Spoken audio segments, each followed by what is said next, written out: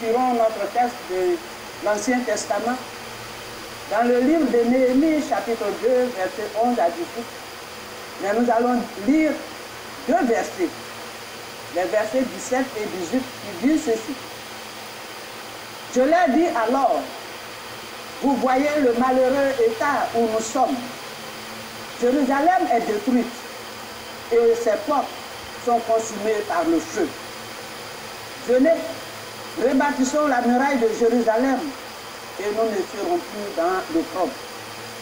Et je leur racontais comment la bonne main de mon Dieu avait été sur moi et quelles paroles le roi m'avait adressées. Ils dirent, levons-nous et bâtissons, et ils se fortifièrent dans cette bonne résolution.